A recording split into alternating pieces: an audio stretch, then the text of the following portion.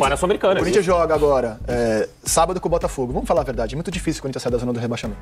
Pra isso acontecer, ele tem que derrotar o Botafogo no Newton Santos. Newton Santos, é. Ele tem que derrotar, ganhar e torcer é. contra o Fluminense. É muito difícil nessa rodada sair do Z4 por ganhar do Botafogo no Rio. É Porque o título da Copa do Brasil não paga o rebaixamento. Não paga. Não, paga. Não. Quer, tem que escolher? É. Escolhe não só. paga. Então, assim, É. claro que o Corinthians vai tentar uma façanha, mas eu acho muito difícil. Sim, é um cara que é, é muito difícil. Eu acho que ele vai sair, tá? Quem? O Romero. Mas assim, é um cara que é difícil você, assim, imaginar esse cara. O Romero não é, não é nem um titular Não, ele absoluto. não é titular, né? mas Não é. toda vez que ele entra, ele é importante em momentos decisivos, como foi o momento de ontem, como foi na, na reta final da temporada do ano passado, a permanência do Corinthians está muito atrelada aos, aos gols importantíssimos que o Romero fez. Corinthians lutou até o fim, não desistiu da luta e foi premiado com um gol no último minuto contra o Juventude. Comentaristas elogiam o time do Corinthians, também ao técnico Ramon Dias, que foi à beira do campo, gritava, xingava, pulava e comemorou no final com alegria, com festa, foi premiado. O Corinthians também é um time de virada, é um time de história e ontem fez história, foi um jogo muito emblemático onde estava o Memphis, Memphis Depay, o holandês que foi que recém foi contratado já foi pé quente no jogo. Confira o debate esportivo que analisa o jogo. Créditos ao Seleção Esporte TV. Sem enrolações, vamos para o vídeo. O jogo do Juventude era conservar o resultado e de alguma forma conseguir, no mínimo, levar para os pênaltis a partida. Era natural que se defendesse. O problema é que se defendeu mal.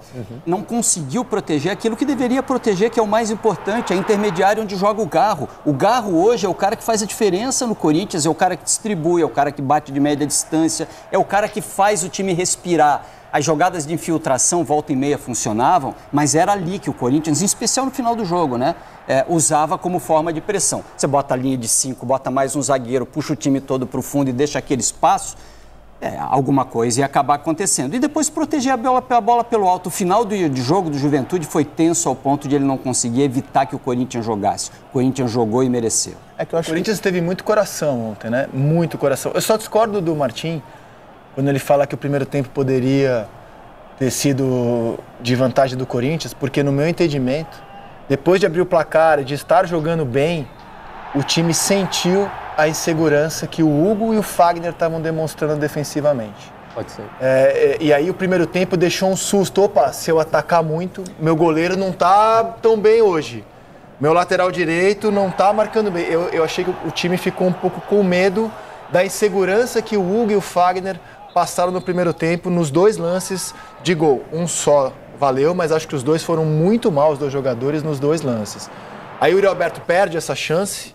E aí no segundo tempo, ali a partir de 15 do segundo tempo, mais ou menos, né? Não foi desde o começo. O Corinthians, com o senso de urgência, cara, ele parte pra cima, cara. Ele realmente parte pra cima. Aí concordo com você, como nunca tinha acontecido antes no ano. Isso. No ano, o Corinthians parte pra cima como nunca havia conseguido fazer no ano até então. Contra esse mesmo rival, um mês, um pouquinho mais de um mês atrás, dia 4 de agosto, o Corinthians jogou contra o Juventude em casa com um, dois, dois a mais. é. Uma gran- um, um a mais no jogo, muito tempo, e dois a mais uma boa parte do jogo. E no Corinthians não fez. Não, Ó, esse é o lance que o goleiro tá caído, que eu havia me referido, ele tá caído.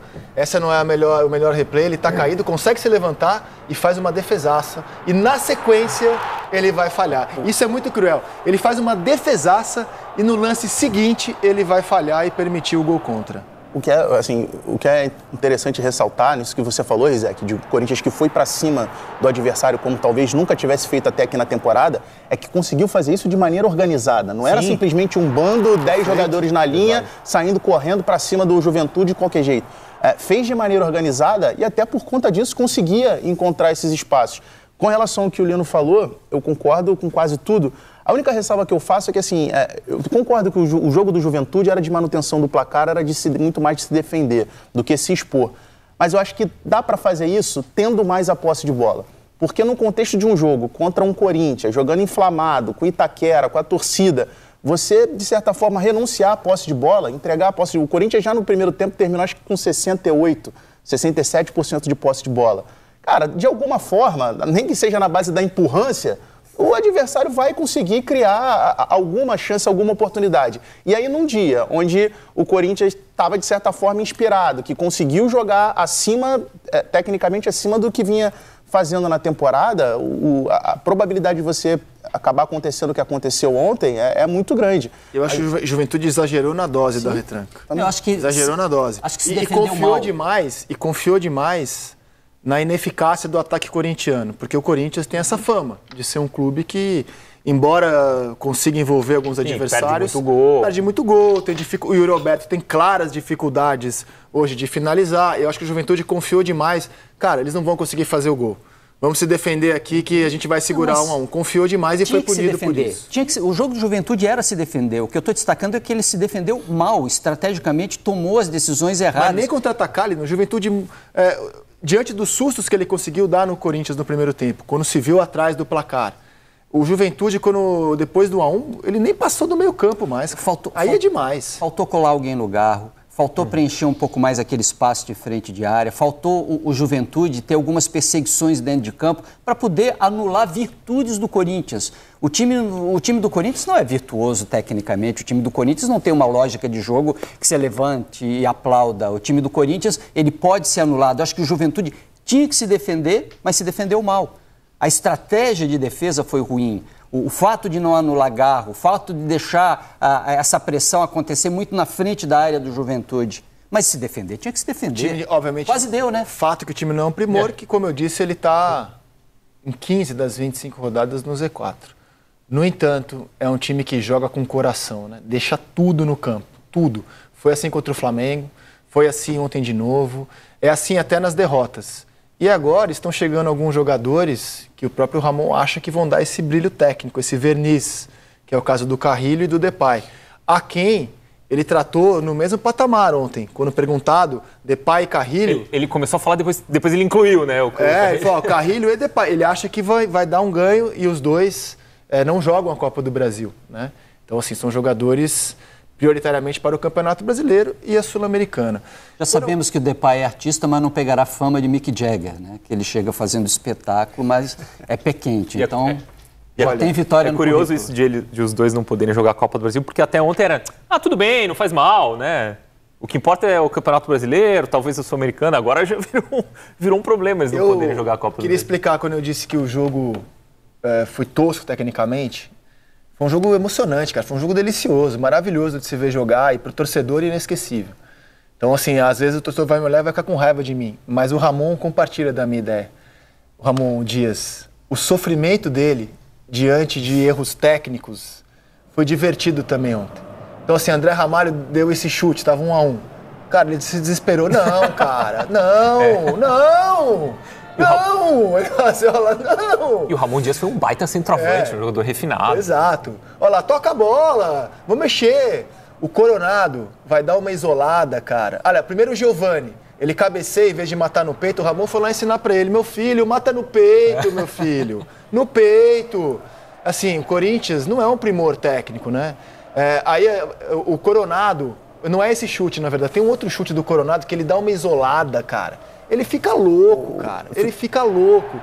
É esse agora, ó, do Coronado. Acho que é agora esse lance. Olha lá. Olha lá. Ele, ele fica louco, cara. Olha lá.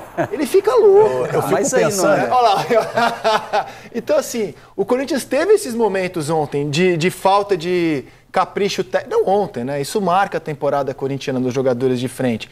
E, e as reações dele, justamente por ter sido. Ele que ele pensou, não, eu teria É. batado no peito, Se eu eu, teria ali, rodado a isso. bola. Ele foi um baita jogador.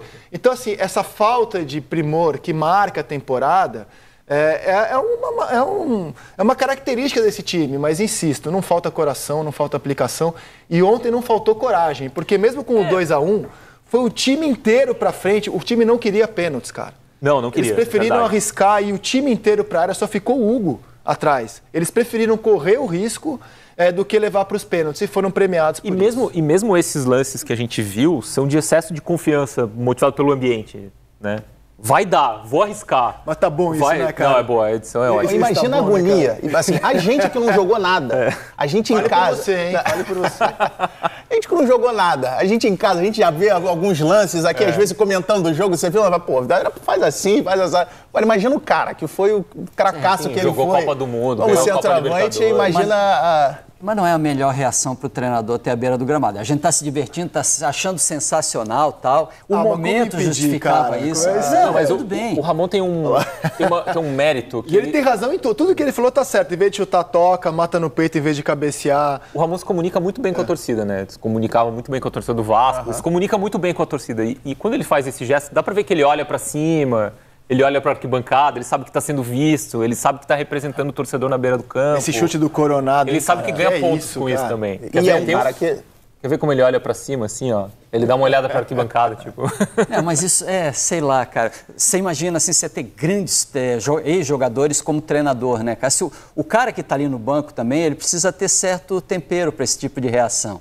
Imagina você bater uma falta, olhar para o banco, ver o Zico é seu treinador, você errar um Rogério passe... Rogério imagina no. Bahia. É, aí, o próprio Mas eu- Rogério mas- passa por isso. Mas assim, Eu eu, ali pelas imagens Eu eu, acho- também eu acho, acho muito tranquilo. Uma reação É, normal de quem, cara, assim, tá inconformado com erros primários, assim, tecnicamente primários. Eu acho que ele, assim, de repente, fazer. Que não aconteceu com, com o Yuri Alberto, com o próprio Mano Menezes. é, Ah, aquilo sim, ali eu aquilo é acho outra desrespeitoso. ali, que aquilo, Aquilo ali é eu acho que coisa. expõe o atleta. Mas assim, nas reações do, do, do, do Ramon Dias eu também achei, achei tranquilo. Agora, você estava falando, Rizek, da questão da vontade do time, da entrega do time. Eu acho que isso também passa uma mensagem para quem vai entrar no time. Porque, assim, são dois jogadores acima da média do nível do elenco. O Depay, principalmente, jogador muito estrelado. Mas passa uma mensagem que esses caras vão ter que entrar numa rotação da mesma vontade. Até porque a gente sabe como é que funciona o futebol. O amor da torcida dura enquanto até entra em campo. Entrou É. em campo. Se não demonstrar a mesma vontade, a mesma raça com que eh, os jogadores mais limitados tecnicamente estão demonstrando, a torcida vai pegar no pé. E nessa linha, Depay falou isso no, no pedaço que a gente estava acompanhando aqui da coletiva com relação à, à- à dinâmica dele em campo. Que ele falou, ó, eu posso jogar como centroavante, posso jogar atrás do atacante, mas vocês nunca vão me ver ali parado no meio dos zagueiros. Porque realmente ele é um cara, até pela estatura, fisicamente, ser um jogador diferente dos padrões de, de um camisa 9, ele é um cara de muita mobilidade, é um cara de entrega também. Deixa eu separar as atuações corintianas em blocos, deixa eu ver se vocês concordam. Tem um bloco do Garro, que só ele tá, que é o do craque, do jogador que decide, que faz muita diferença. Não se esconde nunca, o Garro é... A prateleira dele é outra. prateleira só tem ele. todas É, eu as falei assim, agora, bolas. a prateleira Pode dele. ser que o Depay chegue nessa mesma prateleira, o Carrinho, O ano mas inteiro por enquanto Garro. é só o Garro, né? E ontem foi assim, o Garro muito destacado. É, aí tem de quem foi bem. Cara, o Charles jogou muito bem ontem, de novo. Você acha? Eu achei, cara. Chegando na área, finalizando, correndo, se doando. O André Ramalho jogou muito bem ontem. Havia dúvida sobre como ele poderia jogar sem ser com três Pô, zagueiros. baita contratação, né? Eu jogou acho um o excelente Benite é uma movimento mal do- me quer, assim. as- Ah, eu, eu achei, sim. Por isso que eu falei pra vocês concordam. Eu achei que ele, assim... Yuri Alberto, muita luta e, de novo, tecnicamente bem abaixo, né? Muita luta. E acho que muita gente foi mal, assim. O goleiro muito inseguro, o Hugo. O Fagner, defensivamente, muito E o inseguro. Hugo é curioso porque o Hugo, o Hugo vinha tendo uma prateleira dele também, né? Exato. E exato. ontem Acho que o Giovani sentiu muito o jogo. Ele entrou assim, ele meio que fugia da bola, sentiu o jogo. Coronado ontem achei terrível, terrível. Romero bem. Romero numa prateleira de quem conseguiu entregar, É, Romero- batalhou. Thales Romero Magno bem, na Thales mesma- Magno na na, mesa mesma do do Romero, Romero. bem. O Romero é um bem. cara que, assim, que é muito curioso, porque quando você vai pensar na entrada do, do, do Depay e do Carrilho no time, pelo menos na minha cabeça imediatamente, você pensa a saída de quem? Do Alberto e do, do Romero. Romero, sim. Porque você não vai tirar o Thales Magno, você não vai mexer no garro. É, Só que, assim, é um cara que é, é muito difícil. Eu acho que ele vai sair, tá? Quem? O Romero. Mas, assim, é um cara que é difícil você, assim, imaginar esse cara... O Romero não é, não é nem um titular Não, absoluto. ele não é o titular, né? mas Não é. toda vez que ele entra, ele é importante em momentos decisivos, como foi o momento de ontem, como foi na, na reta final da temporada do ano passado, a permanência do Corinthians está muito atrelada aos gols importantíssimos que o Romero fez. É um cara que é importante, por mais que ele não consiga mais ter eh, esse papel de Tem titular, uma vaga aí, mas tá claro, tá ó, no- no- pelo que falou o Ramon. tá no Carrilho vai jogar. Depay vai jogar. Garro joga. Tem uma vaga. Thales Magno também vai jogar. Então é Thales Magno. É, não tem. eu Não, acho que não dá. Magno. Assim, do meio uma coisa, ali, do, do Então tá meio pra frente não tem vaga. Então, acho também acho, concordo com você. Na formação ideal, eu acho que são esses quatro na, na cabeça do Ramon. Mas tem um aspecto- Carrilho pela direita, Depay pela esquerda. Ele começou a carreira como ponto esquerdo. eu acho que vai ser inclusive. Depay como Por como dentro e centroavante. Thales pela Como, esquerda. ah, Depay como Como centroavante, e o centroavante, Thales o Thales aberto. na esquerda e Garro por trás. Como jogou ontem o Thales? É, e como o Pela Depay tem jogado, por exemplo, É o Depay- seleção holandesa. É porque o Depay já foi ponta esquerda, né? Por isso que eu pensei É, que ele mas- poderia ser um é. meia pela É, esquerda. mas faz tempo que ele não, não, não- Até porque fisicamente ele tem essa Não, dificuldade. Sim, eu acho que faz, faz sentido. Thales na esquerda e o Depay de Isso, falso 9. isso. Podendo se inverter com É o Thales claro, Magno. não, é né? isso, Perfeito. movimentação Ah, o e, tempo tem, todo. e tem outra coisa, o Corinthians classificou para a Copa do Brasil, euforia, legal tal, mas o Corinthians não pode se dar o luxo de poupar ninguém no Campeonato Brasileiro nunca. vai enfrentar Botafogo. Então, Pelo assim, contrário, eu acho vai- que poupar é na Sul-Americana. O Poupar na Sul-Americana, O Corinthians isso. joga agora, é, sábado com o Botafogo. Vamos falar a verdade, é muito difícil o Corinthians sair da zona do rebaixamento. Para isso acontecer, ele tem que derrotar o Botafogo no Newton Santos. Newton Santos, é. Ele tem que derrotar, ganhar e torcer é, contra o Fluminense. É muito difícil nessa rodada sair do Z4 por ganhar do Botafogo no Rio. É Porque o título difícil. da Copa do Brasil não paga o rebaixamento. Não paga. Não, Não, paga. não. Quer- tem que escolher? Escolhe Não São Paulo. paga. Então, assim, É. claro que o Corinthians vai tentar uma façanha, mas acho muito difícil. Ganhar do No Botafogo. máximo joga Libertadores na segunda divisão, né? O Palmeiras jogou em 2013. É, que já sei. E aí, não paga, não paga. Ele joga no meio da semana Não contra o paga mesmo, nem Fortaleza. financeiramente. Não, não paga, não paga. Jogo da ida. E aí o jogo, pra sair do Z4, pra mim tá claro, assim. É, me- ou- depende do que o Fluminense vai fazer nessa rodada, claro, ou os outros times, Grêmio. Mas é o jogo do outro fim de semana contra o Atlético Goianiense, em casa. Esse é o jogo para você conseguir colocar a cabeça fora do Z4, dependendo dos outros resultados dessa rodada, que pode ser que nem consiga matematicamente é, na próxima. A gente a tem classificação do brasileiro para plugar? Porque pode ser que nem consiga matematicamente, caso perca nesse sábado, sair do Z4. Então eu tô, eu tô assim, pensando com a cabeça do Ramon, eu acho que o jogo com Fortaleza no meio da semana é que será o jogo menos importante dos próximos. Sim, sim, Que sim. ele vai sim, poupar sim. na Sul-Americana. tem que ser. Na Sul-Americana. Na Copa do Brasil não tem como poupar, cara. Não, tá numa agora- semifinal. agora não dá Agora mais, né? esquece, né? Então, ó, A gente tentou até aqui. tentamos até aqui. Então, o Corinthians, para sair nessa rodada, ele depende que Grêmio e Fluminense percam seus jogos. Lembrando que os dois têm partidas a menos que o Corinthians, né? Mas ele depende que eles percam seus jogos. É, o, o Criciúma não adianta perder porque ele tem duas vitórias a mais que o Corinthians. E ele vence o Botafogo. Então eu acho muito difícil que nessa rodada ele saia. A depender dos resultados, é possível na próxima sair derrotando o Atlético Goianiense em casa, que é o Lanterna. O Atlético Goianiense nessa rodada, inclusive, enfrenta o Vitória, um confronto direto dentro do Z4. Então acho que a Sul-Americana é que vai ficar em segundo plano com a classificação para a semi da Copa do Brasil. Me parece que é lógico. É, o, se, o terceiro, né? se o Corinthians tivesse uma Em situação mais plano. confortável e olhar e falar, ah, esse jogo contra o Atlético Goianiense em casa, como o São Paulo fez, como outros fizeram, ia ser esse o jogo para poupar. Agora não tem como. né?